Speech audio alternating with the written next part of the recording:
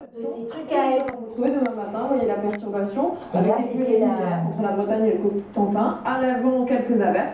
Et donc ces bruines euh, qui persisteront hein, toute la journée entre le Languedoc et les Cévennes. La perturbation, quant à elle, l'après-midi, elle va gagner, vous voyez, euh, toutes les côtes de la Manche, l'ensemble de la Bretagne. Et puis à l'avant, des pluies éparses qui gagneront jusqu'à la Lorraine. Ailleurs, c'est un temps calme qui va rester ensoleillé malgré un voile de nuages élevé. Températures, eh bien, elles vont rester particulièrement douces. Dès le matin, 4 degrés comme minimal à Strasbourg, 16 degrés à Toulouse. Et l'après-midi, la température la plus basse, ce sera 11 degrés, euh, notamment à Brest et à Cherbourg, mais aussi à Strasbourg, donc sous les petites gouttes de pluie. Et 23 degrés au maximum attendu à Biarritz. On va maintenant regarder nos tendances.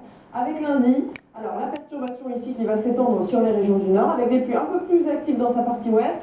Et alors, ce ne seront plus des bruines, hein, ce seront des pluies, des pluies continues qui vont s'installer euh, sur les Cévennes. Et ces pluies vont s'intensifier dans la soirée de lundi. Et mardi, elles vont à nouveau être accompagnées d'orages. C'est un nouvel épisode cévenol qui va s'installer. Il va falloir surveiller à partir de mardi et pour les journées à venir les départements du Gard et de l'Hérault. Vous voyez, ça va durer mercredi, jeudi, mais également les journées euh, suivantes. On surveillera ces pluies orageuses. À partir de la semaine prochaine, Le journal. Avec Marie.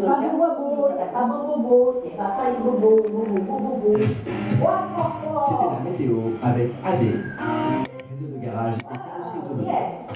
C'était la météo avec l'Office du tourisme de la République dominicaine.